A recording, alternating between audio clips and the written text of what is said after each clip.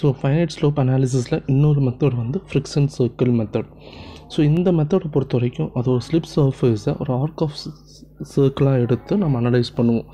Fine so இங்கே என்ன பண்ணுவோம் அப்படின்னா பேசிக்காக ஒரு நாமளே ஒரு ஸ்லிப் சர்க்கிள் வரைவோம். வரைஞ்சிக்கிற ஸ்லிப் சர்க்கிள் கரெக்டாக இல்லையா அப்படிங்கிறத நம்ம செக் பண்ணுவோம் இங்கே. ஃபைன் ஸோ இந்த இதில் அவங்க என்ன அசியூம் பண்ணுறாங்க அப்படின்னா இந்த ஸ்லைடிங் சாயில் மாஸில் மூணு விதமான ஃபோர்ஸ் ஆக்ட் ஆகும் அப்படின்னு. ஸோ ஒன்று வந்து weight of the sliding soil இன்னொன்று வந்து ரிசல்டன் கோசிவ் ஃபோர்ஸ் இன்னொன்று ரிசல்டன் ரியாக்டிவ் ரியாக்ஷன் அப்படின்னு சொல்லி.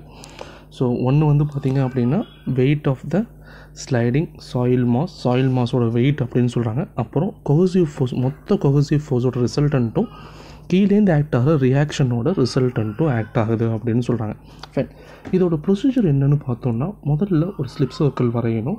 அதோட சென்டர் ஓ அதோட ரேடியஸ் வந்து ஆர் ஸ்லிப் சர்க்கிள் வந்து ஏடி அப்படிங்கிற சர்க்கிள் நம்ம வரைகிறோம் ஸோ சென்டர் ஓ ரேடியஸ் ஆருக்கு நம்ம ஏடி அப்படிங்கிறதுல கட்ட வர மாதிரி ஒரு ஸ்லிப் சர்க்கிள் நம்ம வரைஞ்சிட்டோம். இதுக்கு அடுத்து நம்ம என்ன பண்ணணும்னா ஃப்ரிக்ஷன் சர்க்கிள் வரையணும். ஸோ ஃப்ரிக்ஷன் சர்க்கிள் அப்படிங்கிறது இந்த சர்க்கிள் மேலே இருக்குல்ல. ஸோ இதை நம்ம எப்படி வரையணும்னா ரேடியஸ் வந்து கேஆர் சைன் பை அதே சென்டர் ஓ ஸோ சென்டர் ஓவை ஃபிக்ஸ் பண்ணிவிட்டு ஒரு ஸ்லிப் சர்க்கிள் இதோட ரேடியஸ் வந்து கேஆர் சைன் பை அப்படின்னு. So first K is equal to ஒன்னு ஃபிக்ஸ் பண்ணிடணும். இப்போ இந்த ஸ்லிப் சர்க்கிள் கீழே இருக்கிற சாயில் மாஸ் இருக்குல்ல இதோடைய ஃபஸ்ட்டு என்ன பண்ணணும் அப்படின்னா அதோடைய வெயிட் கண்டுபிடிக்கணும். ஓகேங்களா? அதுக்கு அடுத்தது சென்ட்ராய்டு அது எங்கே ஆக்ட் ஆகும் அப்படின்னு கண்டுபிடிக்கணும். இதுக்கு அடுத்து என்ன பண்ணணும் அப்படின்னா ஒரு வேர்ட்டிக்கல் லைன் ட்ரா பண்ணணும். த்ரூ இட் சென்ட்ராய்டு வழியாக ஓகே அதுதான் line of action of weight அடுத்து நம்ம என்ன பண்ணணும் அப்படின்னா கொஹசிவ் ஃபோர்ஸ் கண்டுபிடிக்கணும். ஸோ அந்த கொஹசிவ் ஃபோர்ஸ் கண்டுபிடிக்கிறதுக்கு நம்ம என்ன பண்ணுறோன்னா ஒரு கார்டு ட்ரா பண்ண சொல்கிறாங்க ஏடி அப்படிங்கிறது ஏக்கும் டிக்கும் நம்ம என்ன பண்ணணும்? ஒரு கார்டு ட்ரா பண்ணணும். கார்டுங்கிறது ஸ்ட்ரைட் லைன் மாதிரி ட்ரா பண்ணணும்.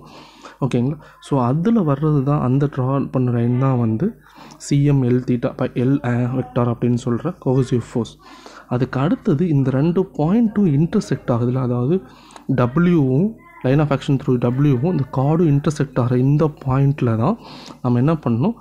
ஒரு லைன் வரையணும். ஸோ அந்த லைன் வந்து இந்த நம்ம மேலே வரைஞ்ச ஃப்ரிக்ஷன் சர்க்கிளுக்கு டேஞ்சண்ட்டாக போச்சு அப்படின்னா நாம் அசியூம் பண்ண இந்த சர்க்கிள் வந்து கரெக்டு ஸ்லிப் சர்க்கிள் கரெக்டு அப்படி இல்லை அப்படின்னா திரும்பவும் இந்த ப்ரொசீஜர்ஸை நாம் ரிட்டர்ன் பண்ணணும்.